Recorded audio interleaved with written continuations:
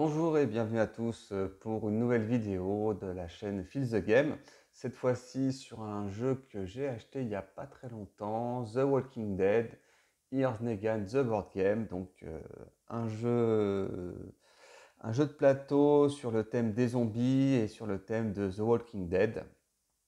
Et donc euh, sur les parties avancées où il y a Negan, alors, je vais vous donner peut-être les raisons un petit peu socio-politico-économiques euh, pour lesquelles euh, je l'ai acheté. En fait, euh, j'ai vu la série, plus exactement, parce qu'elle est aussi en BD surtout, mais j'ai vu la série à la télé jusqu'à X saisons et j'ai abandonné parce que c'était chiant à mourir.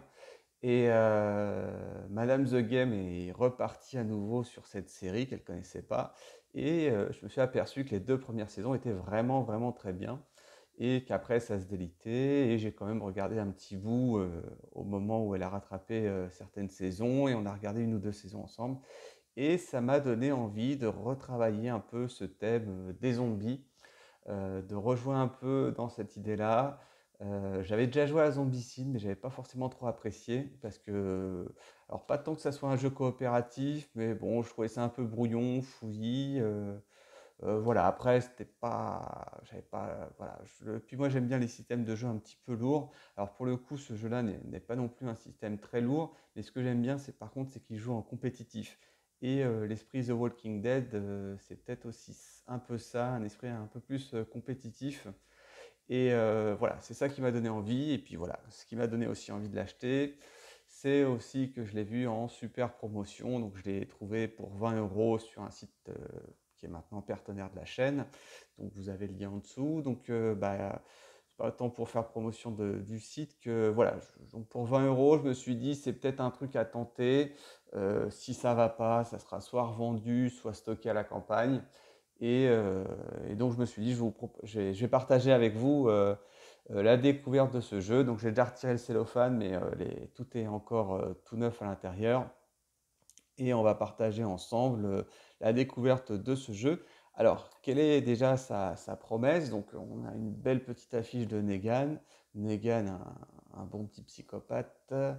Et sur le dos, qu'est-ce qu'on retrouve? Bah, Des explications en multilangue et on a un peu le matériel euh, grosso modo. Et là, ce qui est bien, c'est qu'on a directement le détail du, contenu de la boîte.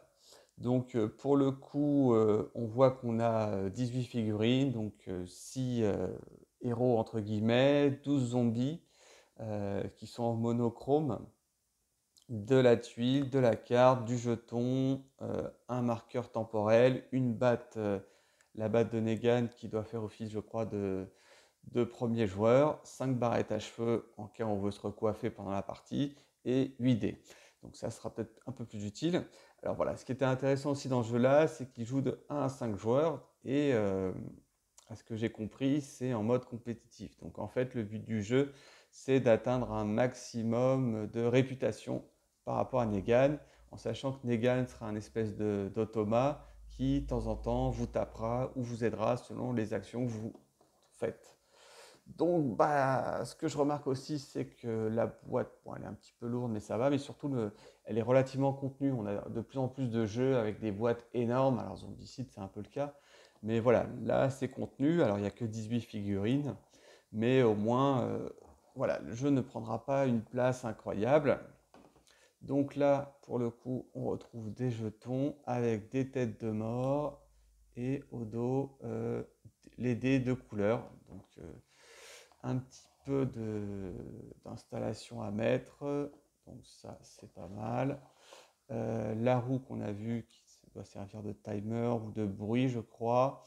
Euh, pareil, donc du déchet, des marqueurs jetons, et c'est déjà tout. Voilà, il n'y a pas un matériel euh, énorme, mais voilà. ensuite, le livre des règles donc au moins qui est pas trop grand. Moi j'en ai marre d'avoir des règles euh, qui font 50 euh, pages, euh, qui sont du format je sais pas combien, qui sont grandes. Donc là au moins c'est pas trop grand, donc ça c'est pas mal. Bah là ils reprennent un peu le matériel, donc ça ça peut être utile quand vous cherchez des marqueurs. voilà, donc là on retrouve les héros, entre guillemets, ah oui c'est pas les héros en plus, c'est plutôt des méchants de The Walking Dead. Alors je crois que les, ils n'ont pas forcément le même rôle entre la série et la BD. Mais là, on retrouve Dwight qu'on voit déjà pas mal dans la série. donc des pions de sécurisation. Donc ça, c'est une des clés du jeu à ce que j'ai compris. Et, et, et présentation des règles. Bon, je crois que les règles sont pas très compliquées. Hein. survivant. Qu'est-ce qu'il y a d'intéressant? Les rôdeurs, les cases. Bon, ça fait combien de pages tout ça? 30, 40 pages. Oui, après, c'est parce que c'est du petit avec beaucoup d'illustrations. Vous voyez là, là en termes de, lignes, il n'y a pas de lecture, il n'y a pas grand chose. En plus, il y a un bouquin de scénario qui est déjà dedans. Donc, on a combien? On a 12 scénarios, si je crois bien. Donc, voilà, éventuellement à jouer tout seul, à jouer à 2, à 3, à 4. Je pense que ça peut être pas mal. Et euh, je ne sais pas s'il y a du solo vraiment. Il faudrait que je revérifie, mais euh, a priori, euh, que je regarde des règles de solo. Mais euh, bon, en tout cas, dans la boîte, il y a déjà marqué un joueur, donc il y a forcément des règles de solo. Euh, là, il y a le résumé des règles. Là, je l'avais déjà, parcouru avant de faire cette vidéo. Mais on voit que c'est simple. Phase des survivants, vous avez le droit à deux actions. Deux actions, ils vous sont listés là. Euh, rôdeur, j'imagine qu'il se déplace. Phase de Negan, j'imagine qu'il se déplace aléatoirement. Phase finale, on gagne, on perd. Selon les scénarios, J'imagine que donc là, il y a des règles spéciales. Mais voilà, je pense que le premier ou deuxième scénario sont, sont souvent des, scénarios tutoriels. Donc euh, voilà, là, je pense qu'il y a une, espèce de mise en bouche, si j'ose dire, du, scénario. Alors moi, ce qui m'avait aussi intéressé, c'est éventuellement de, peindre euh, les figurines.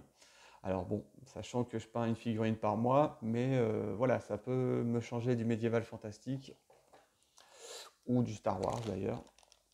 Donc là, on retrouve les figurines des zombies. Donc il y en a 6 et 6, 12.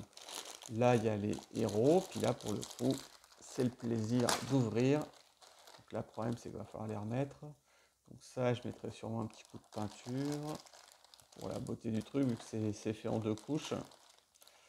Là, on a les personnages. Voilà. Donc, comme ils sont en noir, ça va pas être facile à... Ah, il veut pas se couper il veut pas. Veut pas faire le point. On va laisser comme ça. Ah voilà, là il a trouvé. Voilà, bon, du détail euh, euh, pas forcément fou. Mais euh, ouais, ça fait le job une fois peint. Là, je vois Negan. Là, je lui fais un treillis vert, un t-shirt blanc ou bleu. Euh, et puis un peu de peau claire. en quelques coups de pinceau, ça, va être vite réglé. Euh, là, voilà, ça va être euh, du treillis, du jeans, c'est pas très compliqué. Peut-être un peu de pantalon marron, et puis voilà. ouais, ouais, ouais. Ça aussi, les t-shirts en blanc. Alors, il va falloir que je réfléchisse sur la sous-couche pour que le blanc ressorte. C'est pas toujours évident à peindre le blanc. Euh, ok, donc ça c'est pas mal. Euh, là aussi, c'était les figurines que je voulais peindre. Donc, faire un peu de zombies.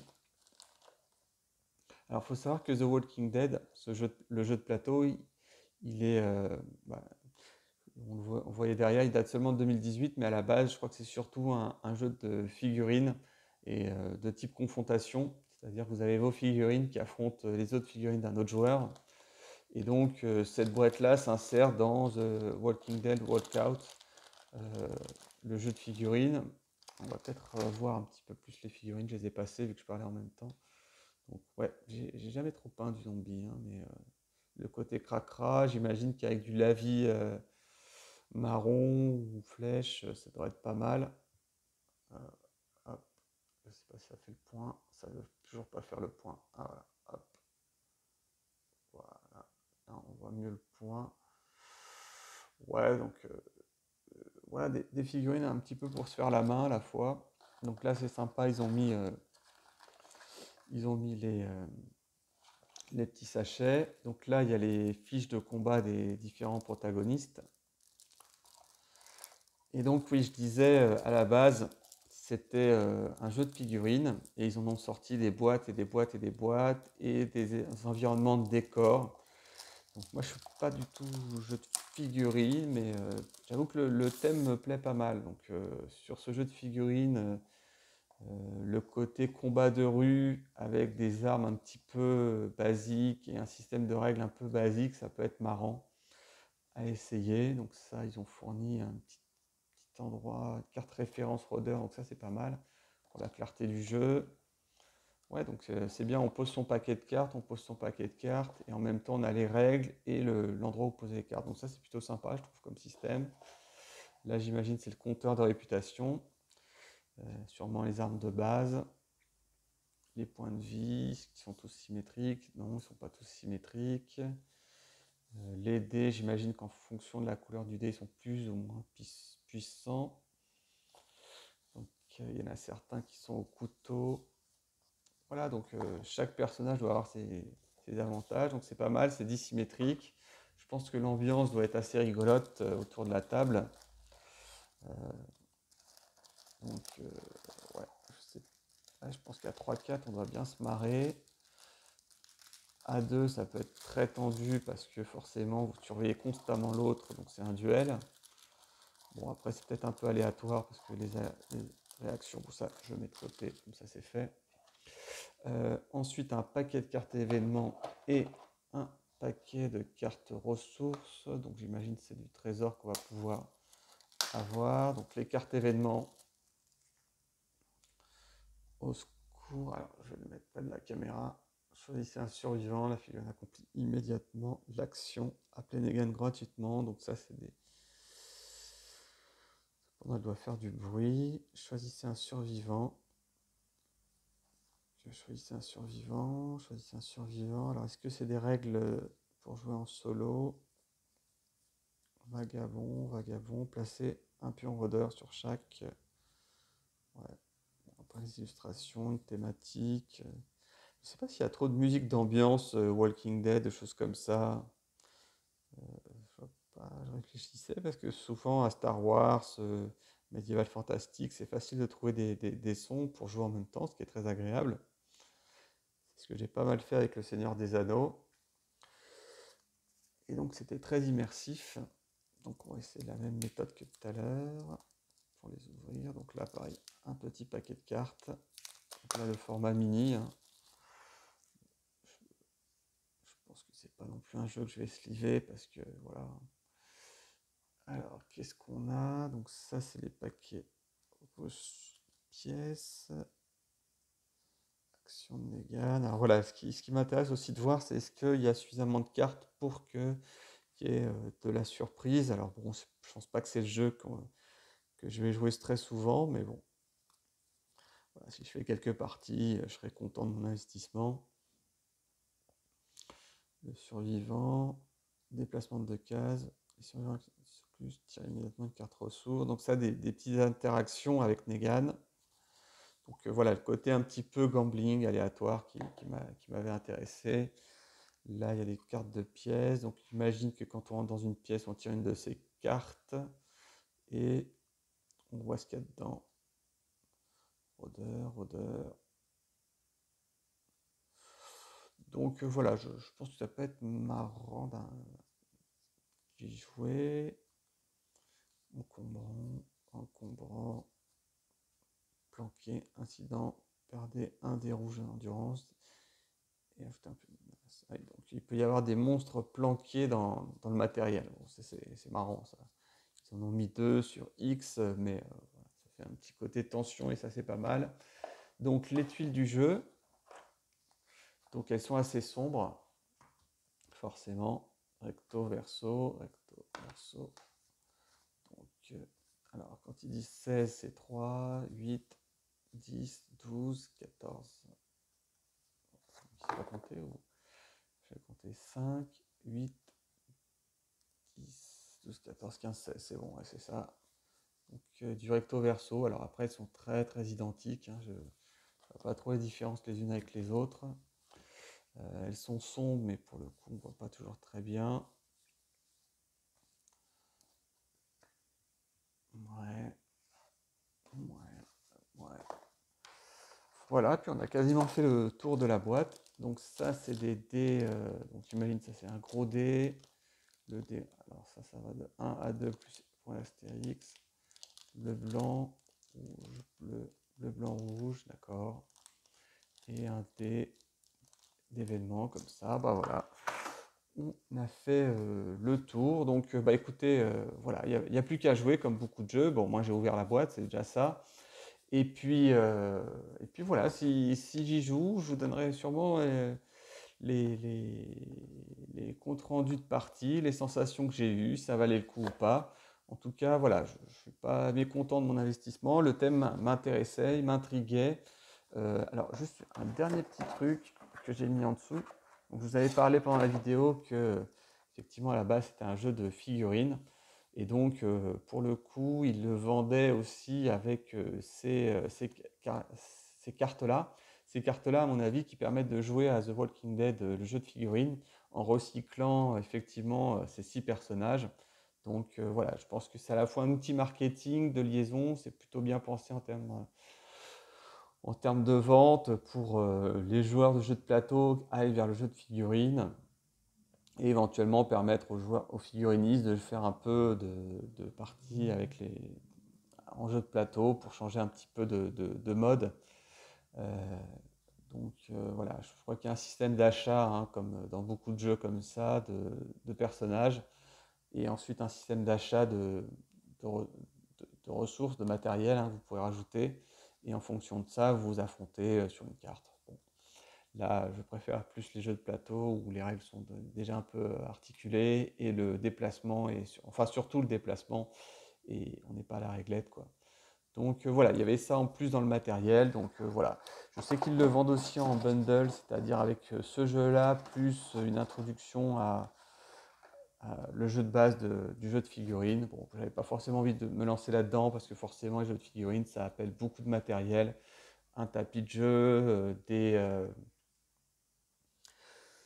euh, des, comment dire, des, moulages de, lieux, donc une voiture, des buissons, des choses comme ça. Donc c'est beaucoup d'investissement et puis là souvent on est très monomot ça monothématise un peu votre vie ludique. Donc, euh, je préfère la diversité des jeux de plateau. Donc, bah, écoutez, je vais, je vais tout emballer.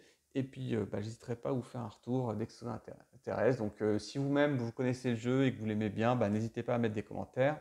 Si vous avez apprécié la vidéo, un petit pouce vers l'avant. Si ce n'est pas déjà le cas, abonnez-vous. Et aussi, je crois que c'est la première vidéo où je fais la promotion. J'ai signé un partenariat avec euh, la boutique Philibert. Donc en bas des vidéos maintenant, vous avez euh, un lien où lorsque vous faites euh, vos achats chez Philibert, donc si vous cliquez sur mon lien, vous faites vos achats comme d'habitude et ça alimente la chaîne pour bah, acheter des nouveaux jeux, peut-être plus de matériel en termes de vidéos. Donc voilà, n'hésitez pas, ça vous coûte rien et ça aide la chaîne. Et sur ce, je vous souhaite une très agréable journée ou soirée. À bientôt.